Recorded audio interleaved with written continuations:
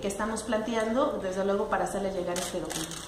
Vamos a estar al pendiente de su recorrido y, y, también la presidenta había externado en su momento la posibilidad de entregar ella directamente la carta de solicitud.